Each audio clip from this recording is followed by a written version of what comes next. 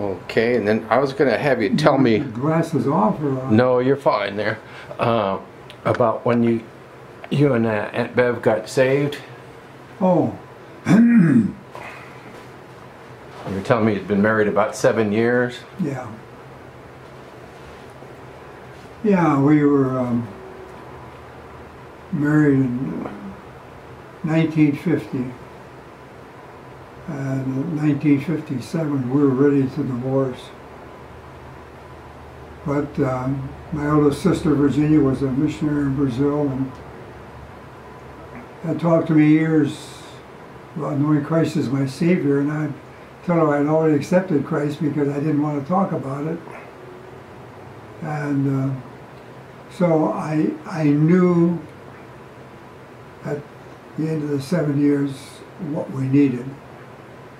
And I knew through my sister Virginia of a little church down on the east side of Detroit.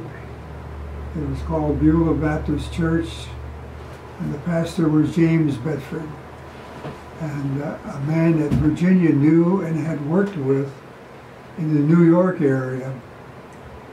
And uh, so we went to that little church on December 15th, 1957.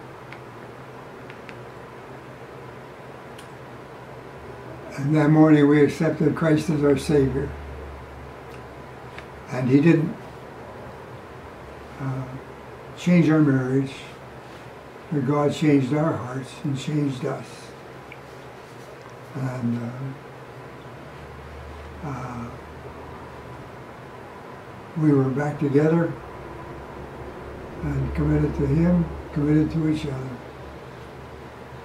And from December 15, 1957, uh, our marriage just got stronger and stronger.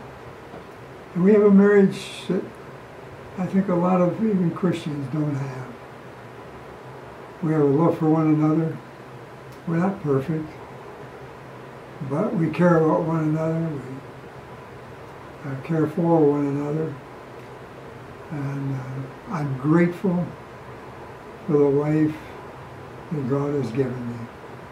You look back and wonder when you met all these people in school and didn't know what was going to happen now in the years coming before you. And yet God had all of this all planned out.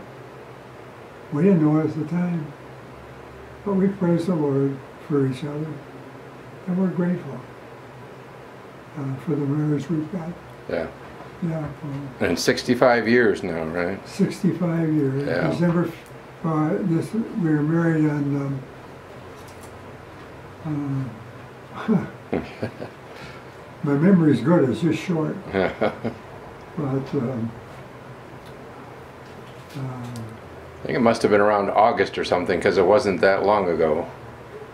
yeah, it was, um, And Bev, when were you married? Hmm? What was the date when you were married? May 27? Oh, May 27th. May 27, Okay. 1950. 1950. Yeah, yeah.